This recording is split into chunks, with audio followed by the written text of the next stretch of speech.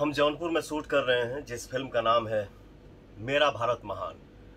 इस फ़िल्म में हमारे बड़े भैया गोरखपुर के सांसद रवि किशन जी हैं और बहुत ही शांतिपूर्वक हम लोग यहाँ शूट कर रहे हैं। यहाँ का प्रशासन व्यवस्था बहुत बढ़िया है और विशेष में हम ये कहना चाहेंगे कि उत्तर प्रदेश सरकार, माननीय मुख्यमंत्री जी हमारे महाराज जी के बहुत बहुत धन्यवाद, जो हम लोग यहाँ यूपी में बहुत ही अच्छे से शूट कर रहे हैं, सुकून के साथ शूट कर रहे हैं, और सरकार द्वारा हम सब कलाकार को बहुत ही सपोर्ट मिल रहा है। ये हमारे लिए बहुत ही खुशी की बात है। जय हिंद, जय भारत।